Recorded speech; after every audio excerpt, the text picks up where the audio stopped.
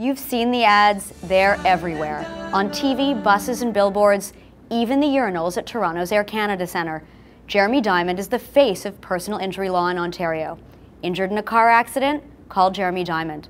Slip and fall on a sidewalk? Call Jeremy and his firm, Diamond and Diamond. It's a multi-million dollar advertising campaign that brings in thousands of injured people looking for the name they've been told they can trust.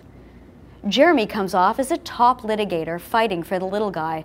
It doesn't hurt that he's a platinum sponsor for the Toronto Police Chief's annual gala and a sponsor of the Toronto Maple Leafs, the Raptors, the Argos. It's an expanding practice built on the power of his name, and he's had success Jeremy's been spotted around town in his white convertible Maserati, his Range Rover, and his $681,000 orange Lamborghini. But Jeremy has admitted under oath that he has never tried a case in court. There are other lawyers at his firm, of course, but for many years, Diamond and Diamond was mainly a referral service. It is something they still do today. Read the full story on thestar.com.